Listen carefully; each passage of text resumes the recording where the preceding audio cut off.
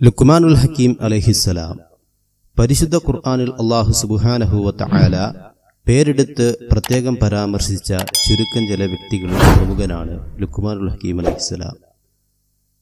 പരിശുദ്ധ ഖുർആാനിലെ മുപ്പത്തിയൊന്നാമത്തെ അധ്യായം അദ്ദേഹത്തിന്റെ പേരിലാണ് സൂറത്തുൽ ലുഖ്മാൻ എന്നാണ് അറിയപ്പെടുന്നത്. ആ സൂക്തത്തിൽ അദ്ദേഹം തന്റെ മകനായ സാറാൻ എന്നവർക്ക് നൽകിയ സാരോപദേശം അള്ളാഹു സുബുഹാനഹുവത്ത് ആല എടുത്ത് ഉദ്ധരിച്ചിട്ടുണ്ട്. ഇന്നത്തെ വടക്കൻ സുഡാനിലും തെക്കൻ ഈജിപ്തിലും സ്ഥിതി ചെയ്യുന്ന നെയിൽ നദിക്കരയോലത്ത് പ്രവിശാലമായി കിടക്കുന്ന നൂബിയ എന്ന പ്രവിശ്യയിലാണ് ലുക്കുമാനുൽ ഹക്കീം അലഹിസ്സലാം ജനിച്ചത്. അദ്ദേഹം ഒരു സുഡാനി വംശജനായിരുന്നു. കറുത്ത വംശജനാണ്. അദ്ദേഹത്തിന്റെ ജോലി എന്താണെന്ന കാര്യത്തിൽ വ്യത്യസ്തമായ അഭിപ്രായം നിലനിൽക്കുന്നുണ്ട്.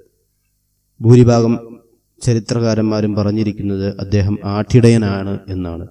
ചിലർ തുന്നൽക്കാരനാണെന്നും മറ്റ് ചിലർ അദ്ദേഹം ആശാരിപ്പണി ചെയ്യുന്ന വ്യക്തിയാണെന്നും സൂചിപ്പിച്ചിട്ടുണ്ട്. മഹാനായ ദാവൂദ് നബി അലഹിസ്സലാമിന്റെ കാലഘട്ടത്തിലാണ് അദ്ദേഹം ജീവിച്ചത്. ദാവൂദ് നബി അലഹിസ്സലാം അദ്ദേഹത്തിൽ നിന്ന് വിജ്ഞാനം കരസ്ഥമാക്കിയിട്ടുമുണ്ട്. അയ്യൂബ് നബി അലഹിസ്സലാമിന്റെ സഹോദരി പുത്രൻ യാഊറിന്റെ മകനാണ് ലുഖുമാൻ ഹക്കീം. ലുഖ്മാനുൽ ഹക്കീം അലഹിസ്സലാം പ്രവാചകനാണോ അതോ അള്ളാഹു സുബുഹാനഹുവത്ത് ആല ആദരിച്ച വിശിഷ്ട വ്യക്തിയാണോ എന്ന കാര്യത്തിൽ ചരിത്രകാരന്മാരുടെ എടുക്കൽ ശക്തമായ അഭിപ്രായ വ്യത്യാസം നിലനിൽക്കുന്നുണ്ട്. ബഹുഭൂരിപക്ഷം പണ്ഡിതന്മാരും പറഞ്ഞത് അദ്ദേഹം പ്രവാചകനല്ല മറിച്ച് അള്ളാഹുവിന്റെ ഒരു ഇഷ്ടദാസനായിരുന്നു. അദ്ദേഹം മരണപ്പെട്ടത് ഇന്നത്തെ ഇസ്രായേലിലെ ജെറുസലേമിനടുത്തുള്ള ബെത്ലഹേമിൽ എന്ന സ്ഥലത്താണ്. അവിടെയാണ് അദ്ദേഹത്തിന്റെ കബറും ലുക്കുമാനുൽ ഹക്കീം അലഹിസ്സലാം അദ്ദേഹത്തിന്റെ മകന് നൽകിയ സാരോപദേശത്തിൽ നിന്ന് വളരെ കുറഞ്ഞ ഭാഗമാണ് നിങ്ങൾ ശ്രവിക്കാൻ പോകുന്നത്.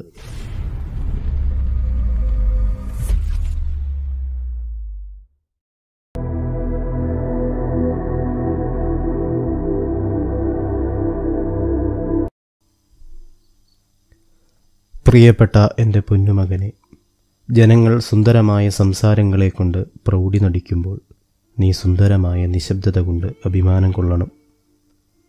പ്രിയപ്പെട്ട എന്റെ പൊന്നുമകനെ മൂന്ന് കാര്യങ്ങൾ നമുക്ക് മനസ്സിലാകുന്നത് മൂന്ന് കാര്യങ്ങൾ ഉണ്ടാകുമ്പോഴാണ്.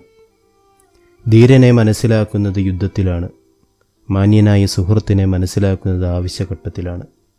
സഹനശീലമുള്ളവനെ മനസ്സിലാക്കുന്നത് ദേഷ്യം വരുന്ന സന്ദർഭത്തിലാണ്.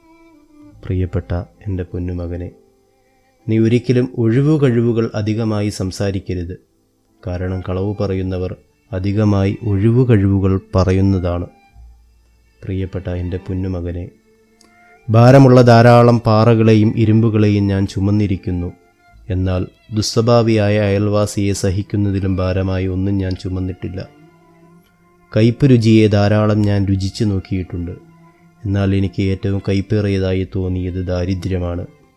പ്രിയപ്പെട്ട എന്റെ പൊന്നുമകനെ നീ നിന്റെ ശത്രുവിൽ നിന്ന് വിദൂരത്തായിരിക്കണം. നിന്റെ സുഹൃത്തുക്കളെ നീ സൂക്ഷിക്കണം. ഭൂക്ഷണമല്ലാത്ത ഒരു കാര്യവും നീ നിന്റെ സ്നേഹിതരോട് പറയരുത്. പ്രിയപ്പെട്ട എന്റെ പൊന്നുമകനെ നീ യാചനയെ ഒഴിവാക്കണം. തീർച്ചയായും യാചന നിന്നിൽ നിന്ന് ലജ്ജയെ ഇല്ലായ്മ ചെയ്യും. പ്രിയപ്പെട്ട എന്റെ പൊന്നുമകനെ നിന്റെ സംസാരം മാന്യമായിരിക്കണം. നിന്റെ മുഖം പ്രസന്നമായിരിക്കണം. നീ അങ്ങനെ ചെയ്താൽ നീയാണ് ഈ ലോകത്തെ ഏറ്റവും വലിയ ധർമ്മിഷ്ഠൻ. പ്രിയപ്പെട്ട എന്റെ പൊന്നുമകനെ നന്മ പറഞ്ഞാൽ നാവിനേക്കാള വലിയ നല്ല വസ്തു വേറെയൊന്നുമില്ല. മാലിന്യങ്ങളിൽ വച്ച് ഏറ്റവും മോശമായത് ദുഷിച്ച നാവാണ്. പ്രിയപ്പെട്ട എന്റെ പൊന്നുമകനെ നന്മ തിന്മയെന്ന അഗ്നിയെ അണച്ചുകളയും തീവെള്ളത്തെ തീ വെള്ളത്തെ അണച്ചു കളയും പോലെ. പ്രിയപ്പെട്ട എന്റെ പൊന്നുമകനെ കാരുണ്യമുള്ളവനോട് കാരുണ്യം കാണിക്കപ്പെടും. നിശബ്ദത പാലിച്ചവൻ രക്ഷപ്പെടും. നാവിനെ സൂക്ഷിക്കാത്തവൻ ദുഃഖിക്കപ്പെടും. പ്രിയപ്പെട്ട എന്റെ പൊന്നുമകനെ ചില സംസാരങ്ങൾ കല്ലിനേക്കാൾ ദൃഢതയുള്ളതാണ്. തീർച്ചയായും ഹൃദയങ്ങൾ കൃഷിഭൂമിയാകുന്നു. അവിടെ നിന്ന് നല്ല സംസാരങ്ങളുടെ വിത്തുകളെ നീ വിതയ്ക്കുക. എല്ലാ വിത്തും മുളച്ചില്ലെങ്കിലും ചിലതെങ്കിലും മുളയ്ക്കും. പ്രിയപ്പെട്ട എന്റെ പൊന്നുമകനെ ഏതെങ്കിലും സമൂഹത്തിൽ അള്ളാഹു താല മോശം ഉദ്ദേശിച്ചാൽ അവരിൽ തർക്കം അധികരിപ്പിക്കുകയും പ്രവർത്തനം കുറയ്ക്കുകയും ചെയ്യും. പ്രിയപ്പെട്ട എന്റെ പൊന്നുമകനെ അത്ഭുതങ്ങൾ കാണാതെ നീ ചിരിക്കരുത്. അച്ചടക്കത്തോടെ നീ നടക്കണം. അനാവശ്യ കാര്യങ്ങളെക്കുറിച്ച് നീ ചോദിക്കരുത്. പ്രിയപ്പെട്ട എന്റെ പൊന്നുമകനെ നീ വിശ്വാസിയായതിനു ശേഷം ചെയ്യേണ്ട പ്രധാനപ്പെട്ട കാര്യം സൽവൃദ്ധനായ ഒരു സ്നേഹിതനെ കണ്ടെത്തലാണ്. ആത്മസുഹൃത്ത് ഒരു ഈത്തപ്പന മരം പോലെയാണ്. അതിന്റെ ചുവട്ടിൽ നീ ഇരുന്നാൽ നിനക്ക് തണൽ ലഭിക്കും. അതിന്റെ ശിഖരങ്ങൾ നിനക്ക് ഉപകാരപ്പെടും. അതിന്റെ ഫലങ്ങൾ രുചിയുള്ളതാണ്. പ്രിയപ്പെട്ട എന്റെ പൊന്നുമകനെ നീ നമസ്കാരത്തിലാണെങ്കിൽ നിന്റെ ഹൃദയത്തെ നീ സൂക്ഷിക്കണം. നീ ഭക്ഷണം കഴിച്ചാൽ ആമാശയത്തെ സൂക്ഷിക്കണം. അന്യരുടെ വീട്ടിലാണെങ്കിൽ നീ നിന്റെ കണ്ണുകളെ സൂക്ഷിക്കണം. ജനങ്ങളുടെ അടുക്കലാണെങ്കിൽ നീ നിന്റെ നാവിനെ സൂക്ഷിക്കണം.